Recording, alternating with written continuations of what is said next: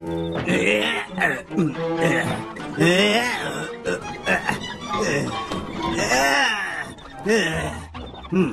dilarang membuang jam. Denda satu miliar dolar. Eh, makanlah jam, tanda tangan.